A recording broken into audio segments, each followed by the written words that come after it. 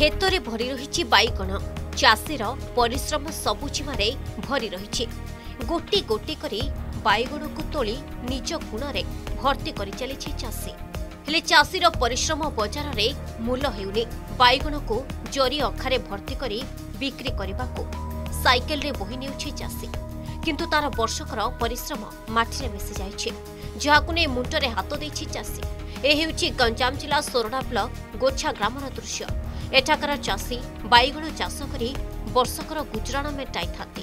ହେଲେ ଚଳିତ ବର୍ଷ ଅଭାବୀ ବିକ୍ରି ଚାଷୀ ମୁଣ୍ଡରେ ଚଡ଼କ ପକାଇଛି। ଆଜିକୁ ପନ୍ଦର କୋଡ଼ିଏ ବର୍ଷ ହେବ କୌଣସି ଜଳର ସୁବିଧା ହେଇପାରୁନି। ବାରମ୍ବାର ସମସ୍ତଙ୍କୁ ସବୁ ଅଫିସରକୁ କହିଲୁଣୁ କିନ୍ତୁ କୌଣସି ପାଣିର ସୁବିଧା ହେଇପାରୁନି। ସବୁଠୁ ଅଧିକା ବାଙ୍ଗିଣ ଚାଷ ଏଠି ହୁଏ। କିନ୍ତୁ ଏ ବର୍ଷ ବର୍ଷା ନ ହେବା କାରଣରୁ ଟୋଟାଲି ଗଛ ଗ୍ରୋଥ୍ ହେଇପାରିଲାନି। ଯେତେବେଳେ ଗ୍ରୋଥ୍ ହେଇକି ବାଙ୍ଗିଣ ଫଳିବା ଆରମ୍ଭ ହେଲା ଅଭାବୀ ବିକ୍ରିରେ ପଡ଼ିଲୁ। ତିନି ଟଙ୍କା ଚାରି ଟଙ୍କା କିନ୍ତୁ ବାହାରେ ମାର୍କେଟରେ ତିରିଶ ଟଙ୍କା ପଇଁତିରିଶ ଟଙ୍କା ଥିବା ସତ୍ତ୍ୱେ ଆମେ ବେପାରୀକୁ ତିନି ଟଙ୍କା ଚାରି ଟଙ୍କା ଦରରେ ବିକୁଛୁ। ଚାଷ କଲେ କ'ଣ କରୁ ଆଜ୍ଞା? ଏ ବର୍ଷ ସବୁ କଲୁ ପାଣିର ଅସୁବିଧା ଯୋଗୁଁ ବାଇଗଣ କିଛି ହେଲାନି ହେଲେ। ଆଉ ଯେତିକି ଯେଉଁ ଯାହାକି ଯେଉଁ ହେଲା କି ଯେଉଁ ଟାଇମ୍ରେ ଯେଉଁ ଫଳିବା କଥା ମାନେ ଗୋଟେ ଭରଣରେ ଯେଉଁ ଦଶ ଦଶ ପ୍ୟାକେଟ୍ ତୋଳିବା ଜାଗାରେ ଆମେ ସେଇଠି ତିନି ଚାରି ପ୍ୟାକେଟ୍ ଲେଖାଏଁ ତୋଳିଲୁ। ଆମର ଫାଷ୍ଟ ଦାବି ହେଲା ଏଇଠିକି ଜଳ ଜଳ ଦରକାର ବୋରିଂ ଦରକାର। ତା ବାଦ ଯଦି ବୋରିଂ ନ ହେଇପାରୁଛି ବୋଲେ ଗୋଟେ ଶୀତଳ ଭଣ୍ଡାରର ସହଯୋଗ ଆମକୁ କରନ୍ତୁ। ଏହି ଅଞ୍ଚଳରେ ଜଳସେଚନର ସୁବିଧା ନଥିବାରୁ କେବଳ ବର୍ଷା ଛଅ ମାସ ଚାଷ ହୁଏ। ବାକି ମାସ ପଡ଼ିଆ ରହିଥାଏ।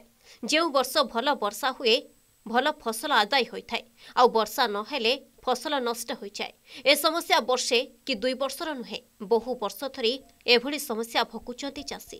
ବାରମ୍ବାର ଅଭିଯୋଗ ପରେ ବି କ୍ଷେତ୍ର ପରିଦର୍ଶନରେ ଆସୁନାହାନ୍ତି ବିଭାଗୀୟ। ଅଭାବ ହେଲେ କିଏ ତା ବେପାର କିଏ ଆଇବ ନା ଏଇଠି ତ ଅଛି ତ ଏତିକିରେ ଦିଆହଉଛି ତା ଯାହା ନେଇକି ଥୋଇ ଦଉଛି ତା ଯାହା ତା ହେଲା ତା ତାଙ୍କେ ଦଉଛି। ଠିକ୍ ଟାଇମ୍ରେ ନଗା ହେଇଥିଲା। ଠିକ୍ ଟାଇମ୍ରେ ନଗା ହେଇଥିଲା ଏ କିସ କରିବୁ ଆଉ ବର୍ଷା ତ ହେଲାନି ସେଠି ତାପରେ ଶହ ଶହ ଆଖିରେ ବାଙ୍ଗିଣ ଚାଷ ହଉଛି। କିନ୍ତୁ ଲାଭ ନାହିଁ। ଲାଭ ନାହିଁ ଚାଷରେ ଲାଭ ନାହିଁ କ'ଣ କହିବ ସରକାର? କହିଲେ କ'ଣ ଶୁଣିଲେ ତ ହବ ତାଙ୍କେ।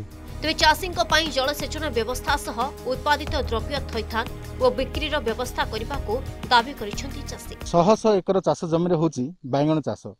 କିନ୍ତୁ ଏଠି ଜଳସେଚନର ସୁବିଧା ଶୀତଳ ଭଣ୍ଡାର ସୁବିଧା ନଥିବା ଯୋଗୁଁ ଲକ୍ଷାଧିକ ଟଙ୍କା କ୍ଷତି ସହୁଛନ୍ତି ଚାଷୀ। କେବେ ପଡ଼ିବ ଏଥିପ୍ରତି ବିଭାଗୀୟ ଅଧିକାରୀଙ୍କ ନଜର? କେବେ ମିଳିବ ଚାଷୀଙ୍କୁ ସୁବିଧା। ୟାକୁ ହିଁ ଅପେକ୍ଷା। ଗଞ୍ଜାମ ଜିଲ୍ଲା ଗୋଛାରୁ ସତ୍ୟକାନ୍ତ ପାତ୍ର ଅର୍ଗସ୍ ନ୍ୟୁଜ୍।